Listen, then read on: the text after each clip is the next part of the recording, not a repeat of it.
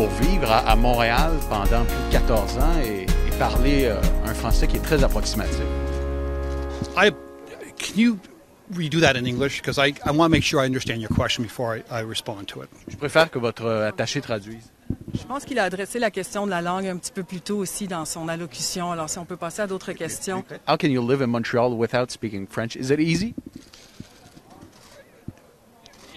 I've been able to live in Montreal without speaking French. Um, and I think that's a testament to the city of Montreal. Uh, Merci well. beaucoup. On va passer à d'autres questions, s'il vous plaît. Eh, on va passer à d'autres questions. Et my, my, my, my, c'est évidemment la déclaration de la semaine. Bonjour tout le monde. Fred Savard avec vous pour cet épisode 6. Bon, j'avoue, j'avoue qu'il y avait quelque chose de réconfortant euh, dans cette polémique linguistique. Ça nous ramène euh, à une époque qu'on croyait révolue. Euh, ça nous change des polémiques autour des identités de genre.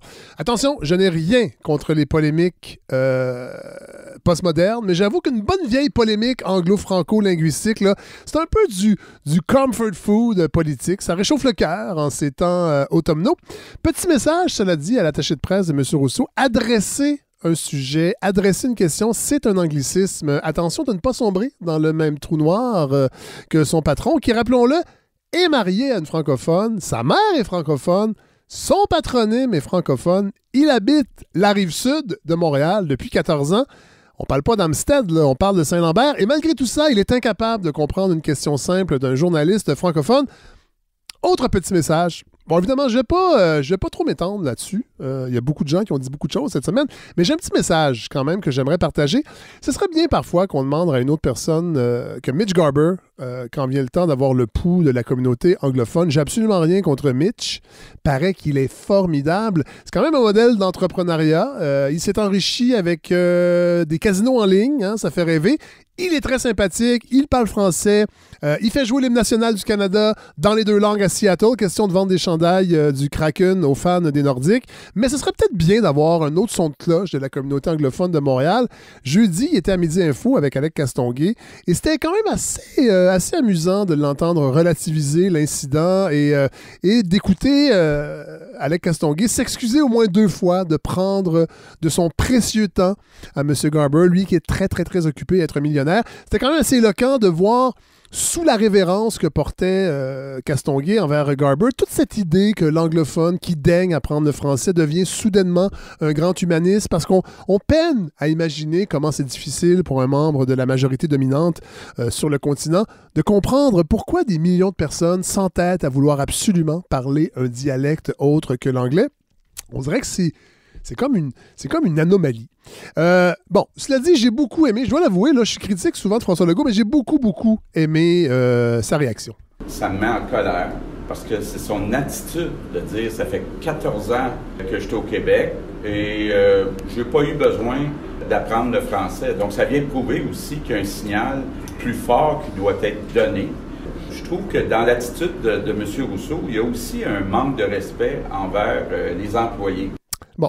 Cela dit, la fin est un peu étrange. Oui, c'est vrai, il y a un manque de respect euh, pour les employés, mais je pense que surtout, il y a un manque de respect pour tous les francophones de Montréal, de tous ceux du Québec et même de tous ceux du Canada qui vivent en situation euh, minoritaire dans les différentes provinces. Et là, parlant d'employés de Radio d'Air Canada, euh, beau lapsus, on a appris quelque chose que moi, en tout cas, j'ignorais totalement. On vous dira que c'est une anecdote, un événement isolé, ce qui s'est passé hier. Moi, je vous répondrai que j'ai été agent de bord pour Air Canada, puis que c'était le quotidien des francophones dans Air Canada, puis le, quotidien des usagers qui se plaignent depuis des décennies de l'absence de services en français dans Air Canada. Et ça non plus, c'est pas le fruit du hasard, c'est la résultante du Canada. La résultante du Canada.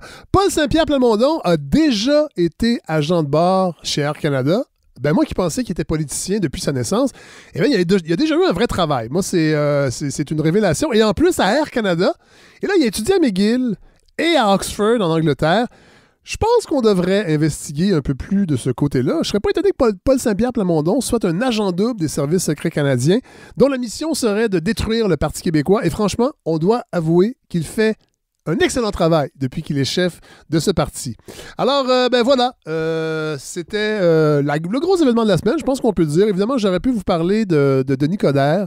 Bon, on le sait, on est en pleine fin de semaine de vote pour les élections municipales partout au Québec. Denis Coderre qui, ben, qui a finalement dévoilé ses juteux contrats. Moi, j'avoue qu'il qu'il fasse euh, presque 500 000 piastres, euh, par année, ça me dérange pas tellement. Euh, moi, ce qui me dérange, c'est qu'il soit lobbyiste pour des géants immobiliers, pour la FIA, pour des, des entreprises qui, je, ne suis pas sûr, euh, aident au bien vivre ensemble montréalais. J'aimerais ça des fois qu'il y ait des lobbyistes pour des organismes communautaires, des lobbyistes pour du logement, euh, oui, du logement, social, mais une autre, une autre façon de voir le logement aussi, parce que je trouve que ça fait petit peuple un peu de ne parler que de logement social. Mais euh, bon, je veux pas trop casser du sucre sur le dos de Denis. Il le fait très bien lui-même depuis le début de la campagne.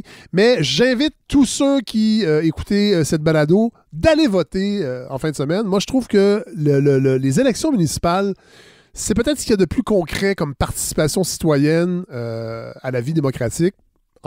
J'ai rien contre les élections provinciales et fédérales, mais quand même, je trouve que les élections municipales, il y a quelque chose de, de proximité, je pense.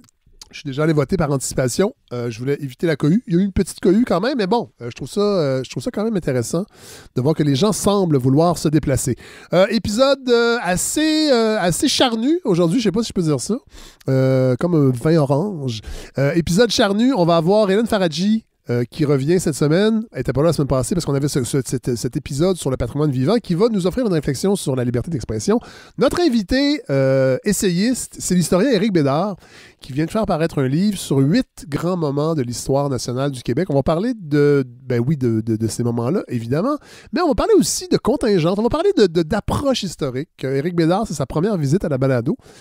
J'ai eu beaucoup de plaisir à discuter avec lui. Et on a Philippe Couture également, installé à Bruxelles, journaliste indépendant, qui sera notre nouvelle antenne euh, en Europe pour euh, la saison 4. Donc, il va se promener un peu aussi, ça c'est intéressant, euh, un peu partout en Europe et il va nous parler un peu de, l'actualité, mais peut-être les angles morts un peu ou les, choses qu'on moins couvertes dans les médias.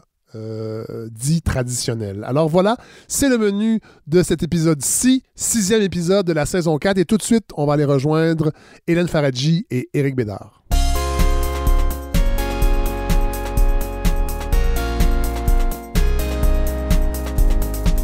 Alors, comme euh, presque à chaque semaine, je retrouve euh, Hélène Faradji. Bonjour Hélène. Salut Fred, comment ça va? Oui, et là, on a, on a- on a- notre invité est déjà arrivé, Éric Bédard. Bonjour. Bonjour. Historien. Oui. Parlez-nous de vous un peu. Euh, historien et professeur à l'université TELUC, vous savez, l'université à distance. Oui.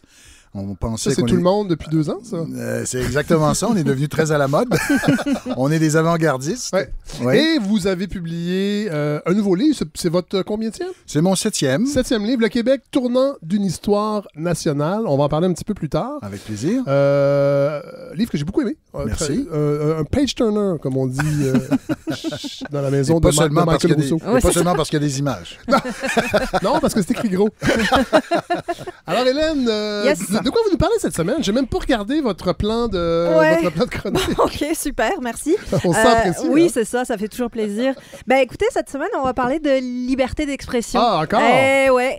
Ben, mais je dois dire que c'est pas tout à fait un choix de ma part parce Ah. que j'ai l'impression que j'essaye d'éviter ce sujet-là consciemment depuis des semaines et des semaines. j'essaye de l'éviter parce que je trouve qu'on est dans un climat en ce moment qui est complètement étouffant. Mais pas étouffant dans le sens on peut plus rien dire. Non. Non, étouffant parce que c'est un maelstrom d'idées, d'opinions, de thèses qui sont souvent gueulées assez fort en plus au point où une chatte retrouverait pas ses petits et moi non plus. Sauf que ben, cette semaine, j'ai pas tout à fait eu le choix de parler de liberté d'expression. J'ai l'impression que je peux plus reculer parce que la culture ces derniers jours, ben, ça s'est peu ou, près, peu ou prou résumé à cette question de la liberté d'expression. On a eu les employés de Netflix qui ont fait grève pour Oui. obliger Ted Sarandos, le patron, à revenir sur sa sacro-sainte carte blanche laissée aux artistes Oui. après le show de Dave Chappelle, The Closer, qui est plein de commentaires transphobes. On a l'essai de Judith Lucier, annulé, réflexion sur la cancel culture qui sort. La lettre des ministres de l'Éducation français et québécois, Ah oui. Blanquer et Roberge. On dirait un, un duo de chansonniers des années 50. là. Oui. Blanquer et Roberge. Bon, pardon. Euh, qui affirme, je, je vous cite quand même parce que c'est très très beau. Ce n'est pas en renonçant à être qui nous sommes, ni en ignorant d'où nous venons, comme le professent les assassins de la mémoire, que nous pourrons célébrer le progrès et nous projeter vers l'avenir. Quand même. Rien de hein. moins. Mhm. On a aussi le film, une révision de Catherine Terrien, qui se demande si un prof de philo peut corriger comme il veut face à une dissertation qui cite le Coran et qui laisse entendre bien gentiment que s'il n'y en avait pas de liberté religieuse, si dans le monde de l'éducation, les gossants religieux arrêtaient de vouloir avoir le crachoir, ben, les hommes blancs pourraient continuer leur vie tranquillement. Ah oui! On a aussi... Mon Dieu, vous. Ouais, j'y vais. Ben oui. Bah pourquoi pas. Euh, on a aussi la décision de la Cour suprême, bien sûr, qui donne le droit à Mike Ward et par conséquent à tous les humoristes de pratiquer leur métier, c'est-à-dire faire rire, même aux dépens de n'importe qui. Oui. Et tout ça, là, c'est devenu un espèce de tourbillon vertigineux, mais c'est surtout devenu un prisme par lequel on est comme obligé de regarder la culture. Et je dois, je dois vous avouer que ça me déprime un peu parce que ben, ça m'a fait réaliser que plus on parle de choses extérieures à la culture, ben, plus on parle collectivement de culture. Euh, ce qui me con- confirme l'idée assez désespérante qu'en elle-même, la culture elle est probablement pas assez intéressante pour qu'on en parle tel quel Ouais. et qu'on a besoin de tous ces colifichés, ces réflexions qui sont plus ou moins pertinents. Merci pour euh, le Ça mot fait- colifichet. Oui, ça fait On plaisir. n'entend pas assez. Non, je, je vais militer pour qu'il revienne. On va plonger les mains dans le cambouis. Oui. hein, on n'a pas le soin. En tout cas, on va essayer parce que, au fond, je suis même pas sûre de ce qu'est le problème exactement. Si j'essaye de le résumer, hein, ce, qui, se comprend bien s'énonce clairement, ben c'est même pas si évident. C'est quoi le débat au fond? Est-ce que c'est a-t-on le droit de tout dire? Est-ce que c'est comment lutter contre les prises de parole intolérantes? Est-ce que c'est annuler, c'est censurer? Je sais même pas en fait. Et je dois dire que juste poser le problème, c'est confus, c'est déjà nébuleux, comme si la vie n'était pas déjà assez compliquée. Mais on va partir de là, on va prendre acte que la question de la liberté d'expression, c'est un de guêpe. Oui. Ok, on part de là et on va essayer de simplifier. Est-ce qu'on est libre de dire ce qu'on veut? Première des choses à circonscrire, c'est le où, l'endroit d'où on parle. Parce que si on restreint la question à la sphère privée, bah évidemment qu'on peut dire ce qu'on Oui, veut. oui. Hein, on risque de se fâcher avec notre cercle, Oui. mais on a le droit. Ça, ça s'arrête là. Mais déjà, on voit qu'il faut ajouter des mots à notre histoire. Est-on libre de dire ce qu'on veut publiquement? Sur scène, dans une salle de cours, dans une œuvre, dans un média, sur un réseau social Euh, Et la réponse, là, elle est non. Non, parce qu'il y a des lois qui restreignent notre liberté de parole, c'est normal, c'est même heureux, parce que vous n'allez pas pouvoir publiquement faire l'apologie de la haine raciale, dire que les camps de concentration n'ont pas existé, euh, proférer des insultes homophobes, appeler euh, un, un tel un violeur, un pédophile, une fraudeuse. Tout ça, ça tombe sous le coup de la loi. Et certains, évidemment, ils vont quand même, hein, parce qu'ils ils se pensent meilleurs que, les- que tout le monde. Sauf que les victimes de ces paroles-là, ben, elles peuvent décider de porter plainte Ouais. si, évidemment, elles y arrivent, ce qui est un autre débat. Bon. Donc, on circonscrit encore plus. Ai-je le droit de tout dire publiquement hors des limites prévues par la loi? Vous voyez, déjà, ça devient Oui. de plus en plus pointu. Bon, et là encore, on a quelques guides hein, possibles. Collectivement, on s'entend pour dire que certaines formes d'expression sont plus vraiment admissibles. Et c'est pas légalement encadré, mais c'est une question d'évolution des mœurs, Oui. de changements sociaux. Euh, Aujourd'hui, par exemple, on ne dirait plus "Youpi, vive la colonisation". Non. Non, voilà. À une certaine époque, oui, Euh, ça aurait pu. Euh, et j'ai eu envie qu'on se Mais replonge je- dans... je- je- c'est parce que j'imagine la réunion là où des... quelqu'un dit Youpi. Youpi! Vive la colonisation! Et les gens lèvent leur verre. Oui! Ben, ça a dû avoir lieu. hein. On imagine que dans certains cercles, en Belgique. par exemple. Et juste pour vous donner un exemple de choses qui ont heureusement évolué, je vous propose qu'on aille faire un petit tour dans les années 80 Ah! pour retrouver notre ami Michel Leb. Aïe, aïe, aïe. Michel. Leb, humoriste français star dans les Ouais. années 80 et qui faisait son pain et son beurre avec des caricatures d'accents euh, chinois, africains, etc. On en écoute un petit extrait. Attention, ça fait mal aux oreilles. Oui, on s'excuse.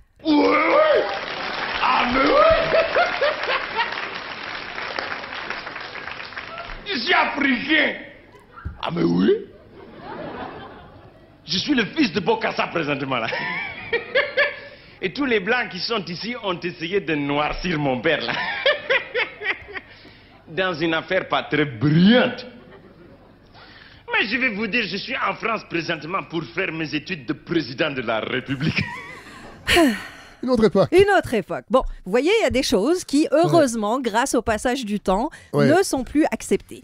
Euh, quoique, hein, les caricatures de plus ou moins bon goût basées sur les accents, ça existe toujours. Oui. Et deuxième chose, l'humour hard, l'humour qui Mais, mais- repousse- mais- mais vous dites ça, Hélène, puis ça m'a frappé parce que j'ai revu à la fin de l'été Mhm. Anthony Cavana, Mhm. un spectacle assez récent à Radio-Canada, et il, il refaisait ça. Ah ouais, hein. Mais je pense que parce qu'il est noir, peut-être. c'est- on l'accepte. Peut-être. C'est quand même fascinant, ça. C'est un- ouais. la- ben, disons que la caricature, c'est quelque chose à manier avec beaucoup, beaucoup de Oui. pincettes. Oui. Et à mon avis, on- ils sont très, très peu à pouvoir s'en sortir. Oui. Je suis pas sûre qu'Anthony Cavana non plus. Je ne sais pas de, de Je- quel je- spectacle vous parlez. C'était mais... son dernier qui était il meurt, au début il meurt, et il, il se Ah réincarne. oui, oui, oui. Ah oui. C'était plutôt sympathique, mais ça m'a frappé parce que je repensais à Michel Leb. Je me disais, ah mon Dieu, on peut encore faire ça, mais dans le fond, c'est la lorgnette. Ben, c'est sûr qu'un blanc qui se moque d'un Africain en Ouais. imitant l'accent, c'est tout de suite plus touché qu'un noir qui se moque d'un Africain en faisant l'accent. fait. bizarrement, euh, Ouais. même si Tout est une question de perspective. hein. Exactement. Et puis, il faut aussi dire que l'humour hard, l'humour dur qui euh, repousse les limites du bon goût, de la décence, de la bienséance, ben, ça a toujours existé, ça existera toujours.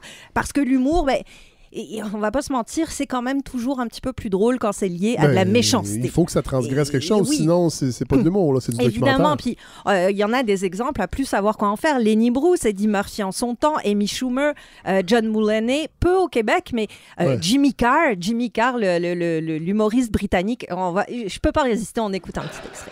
Right, well, I feel we've warmed up. Let's try some properly offensive jokes, see how we get along. 99% of women kiss with their eyes closed, which is why it's so difficult to identify a rapist.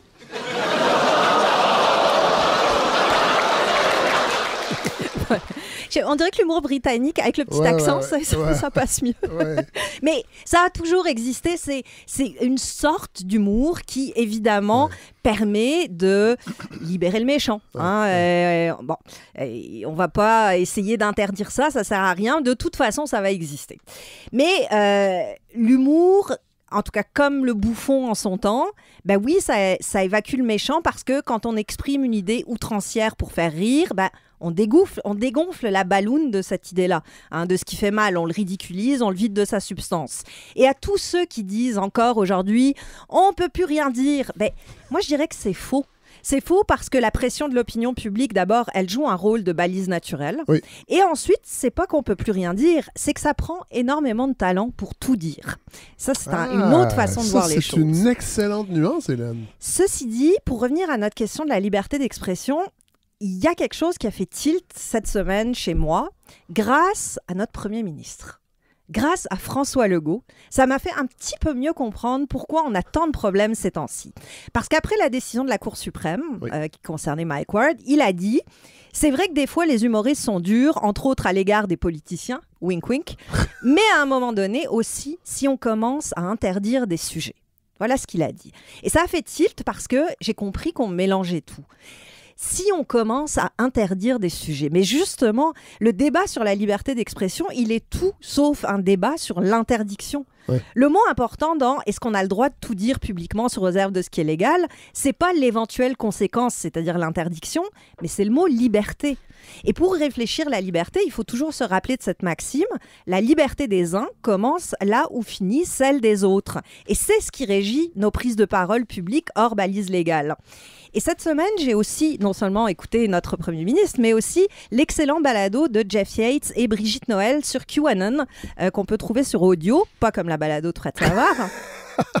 Ça s'appelle La Quête. drôle. Ça s'appelle La Quête. Et je me suis dit, on va prendre cet exemple-là précisément pour essayer de comprendre un petit peu, un petit peu mieux ce qui se joue quand on parle euh, de liberté d'expression. Et on va en écouter un extrait parce que vous allez voir que vouloir parler de liberté d'expression, mais de l'autre bord, c'est-à-dire non pas en faveur d'une prise de parole avec laquelle on peut être d'accord, hein, comme l'humour noir par exemple, mais lorsqu'on fait face à des gens qui disent des choses qu'on pense intolérable, ben, ça devient encore plus compliqué. Et là encore, l'idée de relier immédiatement la liberté d'expression à la conséquence, c'est-à-dire l'interdiction, ben, elle ne fonctionne pas. Dans ce balado-là, qui est quand même vraiment bien fait, on essaye de comprendre d'où vient la conspiration qui a été menée par QAnon, qui est Q, mais surtout pourquoi ça a autant pogné au Québec et qu'est-ce qui se passe maintenant que les plateformes officielles ont décidé de les bannir. Je vous fais écouter le début du dernier épisode. L'histoire de QAnon, c'est l'histoire d'un exode qui se termine jamais. On, on se fait bannir d'un site, on va vers un autre site, on se fait bannir de ce site-là, on va vers un autre site. Ça va devenir une autre histoire d'exode. Il va y avoir un grand ménage qui va chasser les plus extrêmes, ils vont se retrouver ailleurs. Puis c'est comme tu disais au début quand on décrivait l'exode de Something Awful qui est devenu 4chan puis 8chan. On continue de créer des plateformes qui disent prôner la liberté d'expression. Ça va être quoi la limite?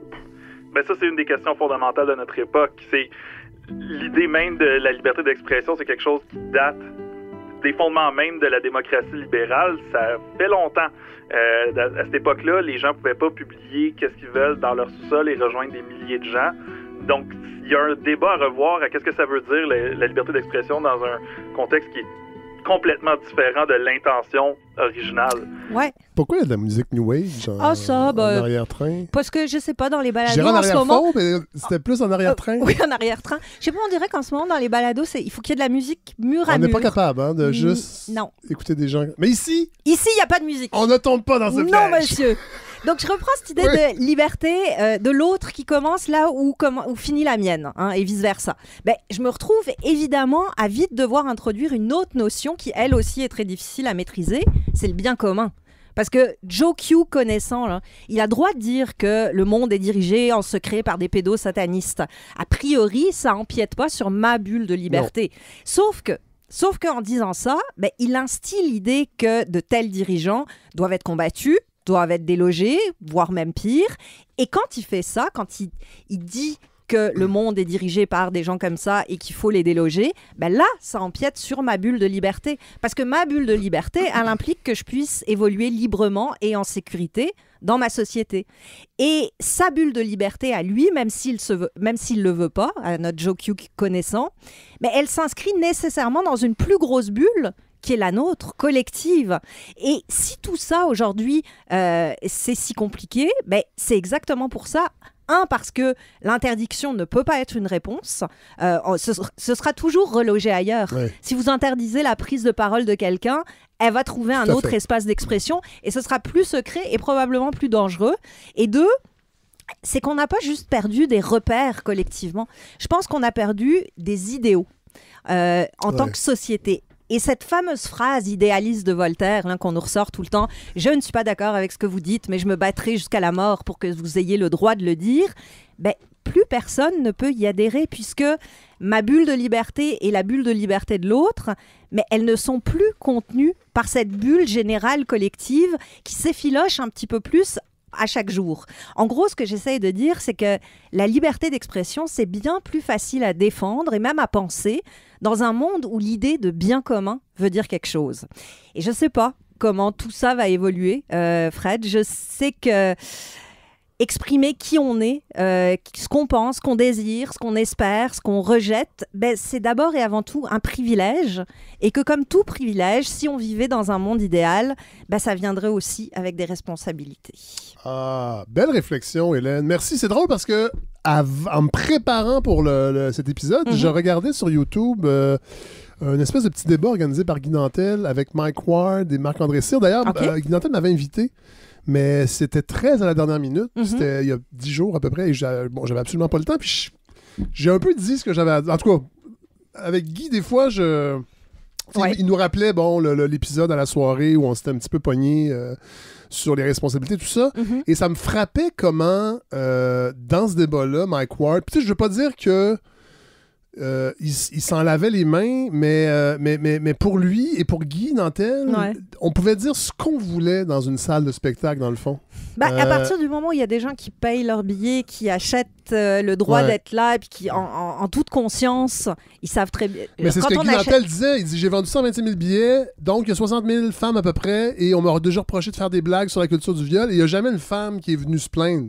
Mais évidemment, tu- Ouais, ça c'est c'est- c'est Bon. un peu un raccourci. euh, C'est un peu un raccourci Ouais. étrange de le présenter Mais le problème, c'est que la blague de Jérémy Gabriel et, et Marc-André Cyr le faisait remarquer, Ouais. c'est-à-dire que les cibles sont pas bonnes. Moi, c'est ça qui me fait, c'est ça qui me fait le dresser le poil Mais des ça, fois. c'est un autre débat. Oui, je sais. Est-ce que c'est drôle? Est-ce que la cible est bonne? C'est pas le même débat que est-ce que la liberté d'expression est en jeu? Oui, Oui, Hein? mais en même mais si Oui, je peux oui, me oui, permettre- oui, oui, oui, on bien vous sûr, entend. ben oui. Si je peux me permettre, c'est-à-dire que vous, vous, les personnes doivent décider quel est le débat. C'est-à-dire là, ça se retrouve Mhm. devant la Cour suprême et donc, euh, oui, c'est une question, un enjeu lé- légal. Mhm. on, on invoque les chartes et tout ça. Mais euh, je voudrais quand même. Ce qui, le malaise que j'ai senti euh, chez Fred Savard à l'instant, euh, il a été ressenti par énormément de gens. Et là, je, je changerais la focale. Mhm. Et je- et je- si, on pense, si on pense à l'évolution de l'humour, dire, historiquement, les, les gens qui faisaient de l'humour, c'était pour se moquer des puissants. Absolument. On se moque des puissants et, les- les- et je pense que je suis bien placé en face de Fred Savard et les apartistes. Vous vous moquiez des gens qui, ont, qui étaient en situation de pouvoir, Tout à fait. Voilà. y compris un pouvoir En intellectuel. fait, on questionnait le rapport oui, de pouvoir. C'est Voilà. ça. Ah? Je me souviens même d'un sketch que j'avais vu à Rimouski que vous aviez fait sur euh, toute la gauche qui se chicane. Oui, oui, oui, Donc, oui. Parce que vous considériez que c'est des gens qui avaient de l'influence, Oui. qui avaient un certain pouvoir Mhm. sur Oui. le débat public. Oui. Alors, là, là, ce que je, j'ai- moi, j'ai senti ça, mais ça, c'est une hypothèse. J'ai déjà parlé avec Mathieu Bellil qui s'intéresse Oui. au sujet. Mhm. Mais il semble que depuis les années 80, en tout cas au Québec, on a changé la. On, est, on, est, on s'est tourné vers les plus faibles. Ou Oui. Probablement. Et, et je pense que Rocket Belles Oreilles, oui, je riais beaucoup. Rocket Belles Oreilles, c'est- c'est un peu de ma génération. Oui. Mais tu sais, Madame Brossard de Brossard, Monsieur Oui. Caron, un, un vieux, un vieux sénile, Oui. les slow-mo. Là, on s'est mis à rire des petits. Mais il faisait les deux, RBO, parce qu'il y avait des sketchs aussi Ouais. sur les politiciens quand même. Absolument. Bon, il faisait les deux, mais, Mais- c'est vrai que Mais Belgazou... vous voyez ce que je veux dire? Belgazou. Oui, ben là, c'était de l'acharnement. Ouais, ouais. Euh, et, et donc, mais là, après ça, il y en a eu plein d'autres. Oui. Et, et là, c'est ça que je sens. C'est-à-dire que c'est la facilité. Et donc, là, moi, je- j'en réfère plus à la question de la décence. Oui. C'est la fait. décence commune. Alors, ça devrait même pas être devant une cour. On devrait même pas se, se moquer des infirmes, puis des gens pauvres, puis des gens qui n'ont pas eu de chance dans la vie, des gens qui sont Ouais. pas nécessairement gâtés par la nature. On devrait pas rire de ces gens-là. C'est la décence commune. C'est- ça qu'on a, on dirait, perdu. C'est tout sauf de l'humour subversif. Ça, on Ah est d'accord. totalement. Et Tout à de fait, le tout à fait, présenter tout à comme fait. ça, c'est une erreur. Oui. Sauf que, euh, au point où ça s'est rendu, c'est-à-dire aller Oui, devant la Cour faut- il faut, suprême, euh, oui, oui, je comprends. Là, il y avait une. Ah, question oui, oui. qu'il fallait trancher Oui. collectivement. Est- oh, oui. effectivement, on peut se questionner sur la mission et le rôle de l'humoriste aujourd'hui. Oui. Surtout dans une société... Et de la Commission des droits de la personne aussi. on peut se poser- Effectivement. Mais ça, surtout ouais. dans une, Mm. une société comme la nôtre, Oui. où le pouvoir devient de plus en plus distant, de plus en plus invisible, de plus en plus euh, oppressant, Tout à fait. et où on choisit des cibles euh, de, de moquerie qui ne dérangent rien, qui ne perturbent pas l'ordre établi. voilà. Et à quoi ça sert À pas grand-chose. Voilà.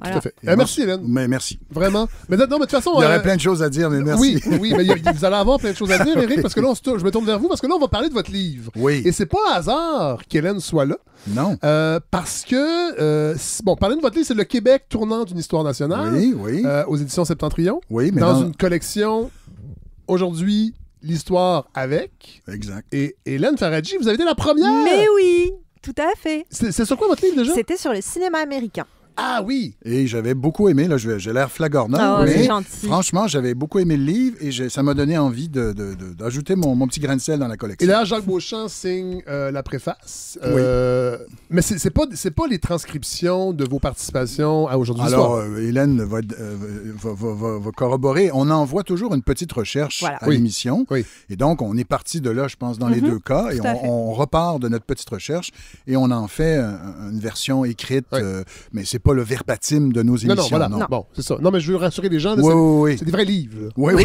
merci. Écrits Merci. dans ce but-là. là. Oui, tout à fait, tout à fait. Bon, voilà. Euh, bon, en intro, vous parlez. euh, et, je- et- et- et- et on s'est parlé au téléphone, puis vous vouliez qu'on qu'on aborde ça, puis c'était déjà noté dans, dans- dans- dans mes lectures, de l'importance de la contingence en histoire. Qu'on Oui. la sous-estime, on l'a sous-estimé peut-être euh, longtemps ou présentement. Parlez-nous Oui. du concept de la contingence. Ben, alors, écoutez, moi, je considère qu'il y a trois grandes, il y a trois vieilles disciplines humanistes qui remontent euh, à la Renaissance, l'histoire, la littérature et euh, la philosophie. Oui. Et les trois avec, avec comme objet, là, on pourrait dire, l'être humain dans toute sa complexité, Oui. dans, dans ses tourments et, et les grandes passions humaines, avec un peu comme présupposé que les êtres humains ne changent pas beaucoup. Oui. Alors, vous allez dire, mais où est-ce qu'il s'en va avec ses chevaux? J'arrive. C'est que là, au 19e siècle, arrivent les sciences sociales, la sociologie, les grandes sciences sociales. Et ce qui a été très fort dans les sciences sociales, c'est de trouver des lois. Oui. Tu sais, un peu, bon, ben, le plus connu, c'est Karl Marx, mais tu sais, le, le sens de l'histoire. Ouais, ouais. Moi, là, grâce à l'étude de- du social, je vais, je vais vous expliquer peut-être où on s'en va. Ouais. Euh, Je vais dégager des lois de l'agir humain. Et, et les disciplines humanistes ont pris un peu le bord parce que là, bon, là, les gens sont anxieux, ils veulent savoir ce qui s'en vient. La Il y a révolution Hegel, industrielle. Hegel a travaillé fort aussi. Oui, ça, c'est vrai. à- C'est un grand but derrière C'est les, vrai les mouvements que, historiques. exactement. Lui, c'est un philosophe. Vous avez raison. Là, ça marche plus tout à coup. Non, non, non, non, mais non, non, jusqu'à un mais certain c'est- point, c'est la même idée. J'ai étudié en philosophie, il faut bien que ça serve. Ben oui. non, ça, c'est les grandes philosophies de l'histoire, en Oui, effet. oui. Mais en gros, les sciences sociales s'étaient donné un peu ce but-là. Et les disciplines humanistes euh, plus vieilles euh, euh, ont eu comme des complexes. Et des fois, les historiens singent un peu les sociologues, essayent de dégager des, des grands mouvements. Et il y a, un- des fois, il y a des explications qui ont un petit côté un peu déterministe. hein. Ceci s'est Mm. passé, donc cela s'est passé. Et moi, j'ai toujours été un peu rétif. Parce que, peut-être parce que je, très tôt, j'ai été un lecteur de biographies. Quand on lit des biographies, on voit à quel point le chemin du, du personnage qu'on admire ou qui nous intéresse était loin d'être tracé. Et Il y a plein- il y a plein de hasards. et il y a plein de hasards. La personne va vous dire j'ai rencontré telle personne dans un cocktail, puis là, elle m'a amené là, elle m'a appelé. C'est, puis l'histoire, c'est un peu la même chose. C'est- C'est sûr qu'il y a des lames de fond. Oui. Et, mais il y, a, il y a quand même beaucoup d'imprévus, beaucoup de, de, de- de hasards en histoire. Et je, je trouve que c'est ce qui rend, d'ailleurs, l'écriture de l'histoire et la lecture de l'histoire passionnante. C'est qu'on voit que ce qui est arrivé aurait pu ne pas arriver ou arriver différemment. Et, et- et de recon- et, et pourquoi c'est intéressant de se souvenir tout ça, de, de tout ça, c'est que dans nos propres vies, on doit toujours se rappeler qu'on est libre de nos choix et que finalement, il n'y a rien, on n'est pas surdéterminé par des forces, que on est une femme, on est d'une génération, on est d'une classe sociale. Non, non, on peut être des acteurs relativement libres dans nos, dans nos décisions et je trouve que l'histoire peut avoir ce rôle civique. Et je trouve que cette perspective-là est particulièrement intéressante au Québec. Oui. Parce qu'il y a plein de choses qui sont pas arrivées. Qu'on aurait aimé qu'elles arrivent, et dans, alors que dans d'autres pays, il y a eu des révolutions qui ont réussi. Bon, évidemment, ça dépend d'où vous vous situez sur le spectre euh, euh, politique, mais, mais, mais c'est mais c'est vrai que cette, histoire, cette, cette- cette idée-là de contingence, elle est partout dans l'histoire je vous donne euh, un de la. Nouvelle-France et du Québec. Ben, et je vais vous donner un exemple. Je ne parle pas de ça dans le livre, mais euh, prenons 95. Imaginons que Jacques Parizeau, le 30 octobre 95, monte sur scène et au lieu de, de faire le discours qu'on Oui, connaît, oui, oui. dit Bon, c'est un match nul. On donne un an au Canada de nous faire des offres. S'il n'y a pas d'offres, on fait un nouveau référendum. Ouais. Mais, mais l'histoire est Ça complète. tout. Tout est Oui, changé. oui, oui. Là, il aurait eu une attitude un peu à la Ben Gourion, vous savez, le chef israélien, qui a, il a attendu patiemment jusqu'en 48 pour que l'indépendance d'Israël arrive, alors que ça faisait longtemps qu'il y travaillait. Imaginez, juste, donc, là, on parle d'un être humain qui prend une décision. Là, il était évidemment à fleur de peau, mais ima- imaginons qu'il avait, il avait eu la tête un peu plus froide. Oui. Et il aurait dit... C'était un soir, Luce Dufaux, je pense. C'était un soir, probablement un soir de scotch, peut-être. C'est ce que c'est ce qu'on dit. C'est ce que c'est plus proche conseiller même. On, on Non, a mais on- avoué non, mais à on- demi-mot. On en paie le prix encore aujourd'hui Oui, dans le vivre ensemble. Autant, autant j'admire Jacques Parizeau, Oui, moi aussi. autant, autant Oui. on est d'accord pour dire que ça, c'était pas sa meilleure Non. et peut-être que là, l'histoire serait restée ouverte. Ouais, ouais. Bon, euh, autre chose que vous dites dans votre intro, avant qu'on rentre dans le, dans, Oui. dans- dans le vif, euh, vous dites qu'il y a une, tradi- une tradition euh, historiographique qui a été longtemps discréditée. Euh, c'est l'histoire nationale, le grand récit national. Oui. Euh, et votre livre, je pense, essaie de redonner ces lettres de noblesse Oui, à oui. cette chose qui a déjà causé du tort collectivement à Oui. d'autres sociétés. Oui.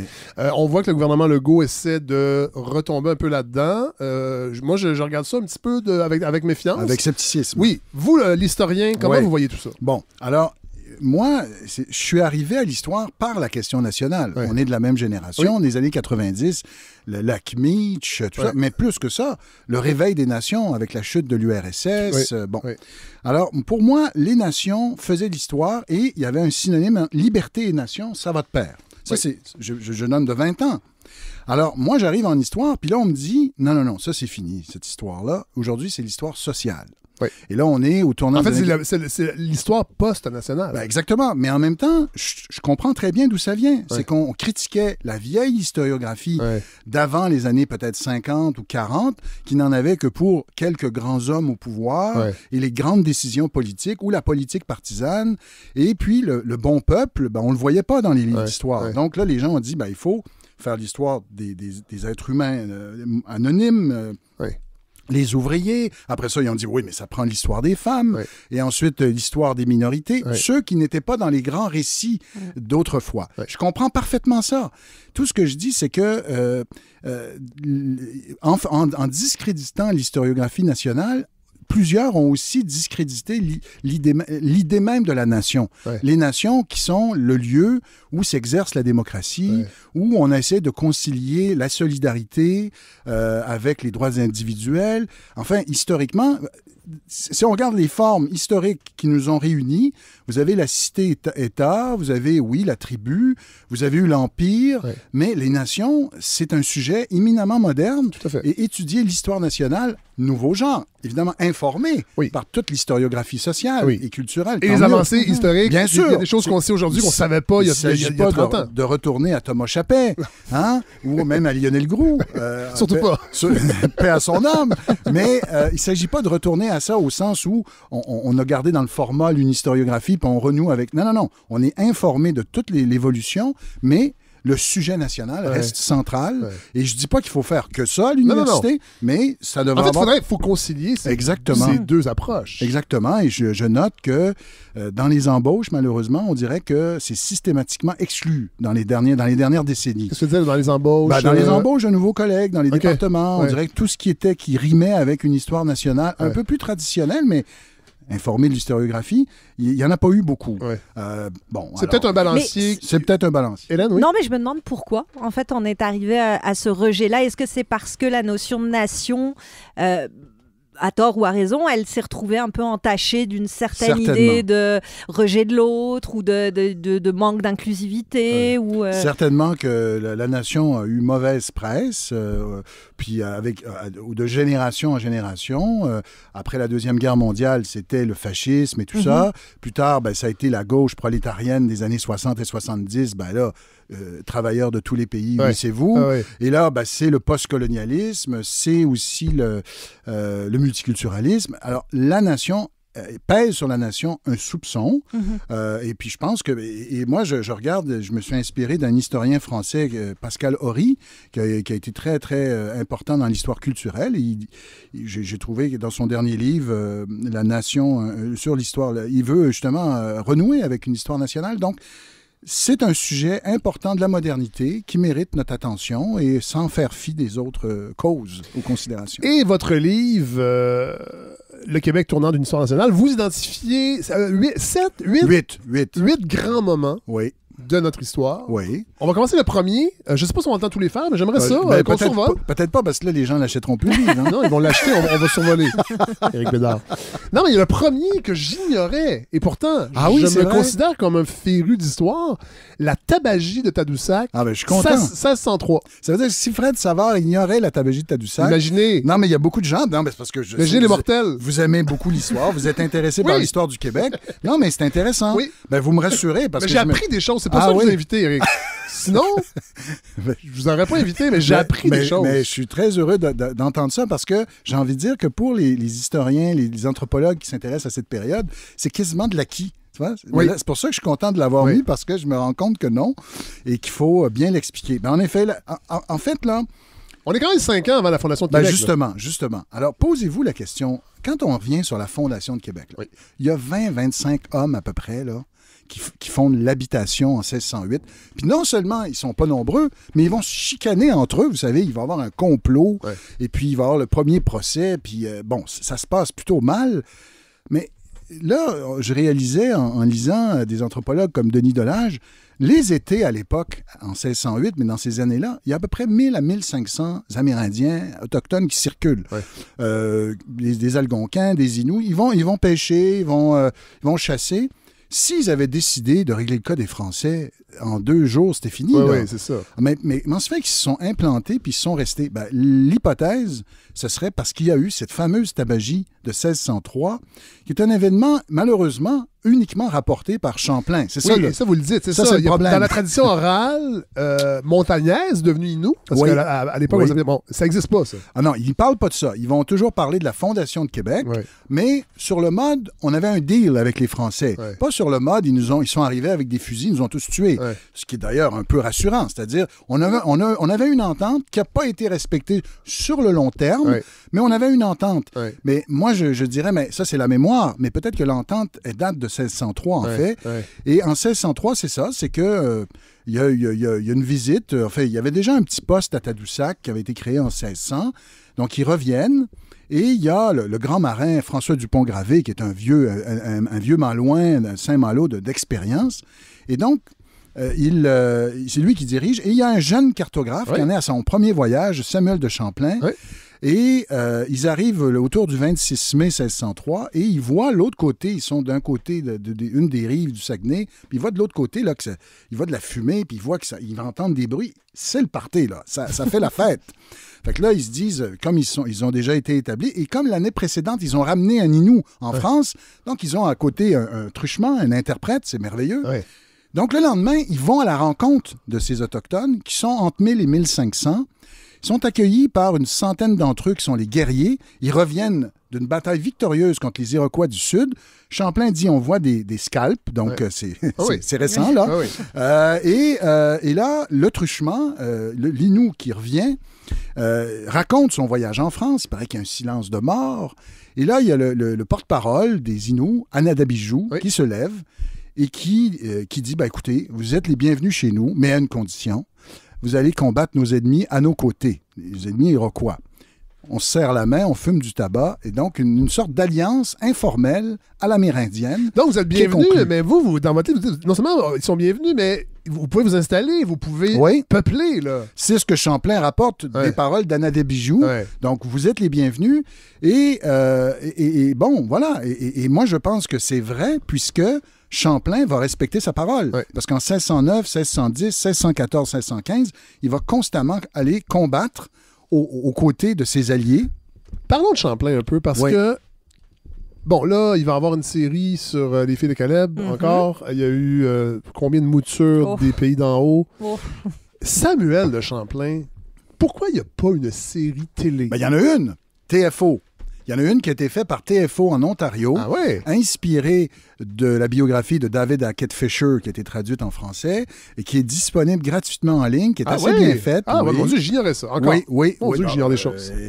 C'est ça pour ça qu'il faut parler à des historiens. Oui, donc cette série-là existe. Ceci dit, Parce que c'est un personnage fascinant, c'est c'est un personnage fascinant. Euh, c'est un homme de terrain. C'est Oui. un navigateur d'expérience. Presque Et vous- et traversé 28 fois le. Et vous dites dans votre livre qu'il y a une- avant d'être un navigateur, c'est c'est un humaniste, c'est un anthropologue. Dans le fond, en fait, il y a cette approche-là. Ben euh, oui, et, euh, et- et c'est ça, c'est que au tournant du, 20e du, du, 20e du 17e siècle, euh, les Français sortent d'une guerre de religion épouvantable. Et là, j'ai- lu beaucoup ces derniers mois pour un autre livre, là, pour mieux comprendre de quoi on parle, parce qu'on répète ça comme si... Euh, Mais c'est terrible. Euh, et, et quand on dit c'est terrible, c'est des êtres humains qui sont transpercés, les- le- charcutés, torturés. Et donc, il y a une sorte de désenchantement des Français à la fin du 16e siècle. Et, et- et- et les Français qui vont à la rencontre de ceux qu'on appelle les Américains, les. Autochtones d'Amérique, ben, il y en a plusieurs qui disent eh, Qui sommes-nous pour leur faire la leçon sur le fait qu'ils sont anthropophages ou qu'ils se promènent à moitié nus? Nous, là, regardez de, de quoi on sort. là. On a été nous-mêmes plutôt euh, euh, barbares dans nos pratiques. Et donc, il y a- il y, a une sorte de bienveillance que j'ai notée chez plusieurs observateurs. Et Champlain est le- est l'enfant de cette époque-là. Et son, son mentor à Champlain, c'est nul autre qu'Henri IV. Henri IV qui lui donne une petite pension. Oui, d'ailleurs, c'est un peu mystérieux, ça. Vous prétendez même. En tout cas, les rumeurs veulent qu'il soit peut-être un enfant illégitime. Je reprends D'Henri IV. Je reprends. On, le- plusieurs. Ah, ouais. on- on le surnommait l'homme aux 75 maîtresses. Euh, On Henri rit, mais c'est pas drôle. mais non, évidemment. non, mais c'est-. Oui, ah, David Hackett Fisher avance cette hypothèse, mais j'en parle avec d'autres spécialistes qui disent que c'est impossible parce que quand un roi comme Henri IV avait avait des, des enfants illégitimes, il en Mhm. prenait soin. Ils étaient reconnus Ah, bon. officiellement et il y en a eu plusieurs enfants illégitimes. Et donc, c'est plus ou moins crédible. Mais quand même, c'est assez mystérieux. Euh, pourquoi ce fils de brouage a pu, comment ce fils de brouage, une petite ville, euh, origine modeste, ait pu devenir un, ait pu devenir un pensionné? Alors d'autres vont dire c'est parce que c'est un brillant cartographe, c'est un bon navigateur et aussi, en 1603, il revient d'une mission en Amérique du Sud. Ça, c'est très important. Il a passé à peu près deux ans en Amérique du Sud, en Amérique centrale surtout. Et il a été un peu espionné les Espagnols et il, euh, il- rapporte aussi ce qu'on dit à l'époque du comportement des Espagnols avec les, avec les Autochtones et on veut pas que la France reproduise ces comportements. Autre événement marquant, évidemment, l'arrivée des filles du roi. Euh, et encore là, je me rends compte que j'étais un peu euh, pris avec des idées préconçues Oui. sur les filles du roi. C'est quand même fou parce que Les idées de Mordecai Éclair, par exemple? j'irai pas jusque-là. J'essaie le moins possible d'entretenir des idées qui me viennent de Bien que Mordecai ce soit un très grand Oui, écrivain. oui, oui, c'est pas ça le problème. c'est pas ça le problème. Euh, non, mais bon, on, a- on- on- on- dans la mythologie, souvent, on retient des filles du roi que ce sont des pauvres filles, Oui. euh, des orphelines qui ont été ramassées un peu dans la rue et qui ont été envoyées de force. Bon, c'est pas tout à fait ça, la réalité. Alors, euh, selon, selon la- la- les recherches, non. D'abord, elles étaient aussi, c'était pas des, des adolescentes. Oui, Euh, oui, ils on a cette image de la Nouvelle-France, on se marie avec une fille de 12 Ouais. ans, puis bon. L'âge Euh, médian, 24 ans? Oui, 24 ans. Euh, la plupart se sont d'ailleurs mariés avec des Français, notamment du régiment Carignan-Salière, Ouais. qui, qui est arrivé vers 1665. Euh, donc, des femmes aussi qui, qui étaient libres de partir ou pas, avec une petite dot du roi. Oui. Euh, Certaines et- même ont défrayé elles-mêmes oui, le coût oui, du voyage. Un, un petit nombre serait allé elles-mêmes euh, au port pour euh, traverser. et, et en même temps, vous parliez de, de films. Oui, ça serait bien un film sur Champlain, mais prenez un film, un grand Oui, film oui. sur une fille du roi, on en prendrait une. Moi, je je, je, je, je- comprends pas. Puis c'est tellement une histoire incroyable, au plein de vue même dramatique. Je suis à côté d'une spécialiste du cinéma. Ben non, mais là, euh, moi, je pense que la balado devrait se lancer dans la production. là. On Ah a oui, un là, on- sujet en On pourrait mettre plein de bruits d'ambiance, Oui. des Oui. bruits de vagues, des, des craquements de bois dans le bateau. Ah ben oui. Non, mais Non, imaginez, raison, c'est vrai. imaginez la, Ben la oui. scène où euh, l'homme courtise la fille du roi. Euh, elles étaient euh, chaperonnées par des sœurs. hein. Et là, à l'intérieur de six mois, la plupart étaient mariées. Et donc, imaginez que l'homme dit, écoutez, euh, moi j'ai une belle cabane.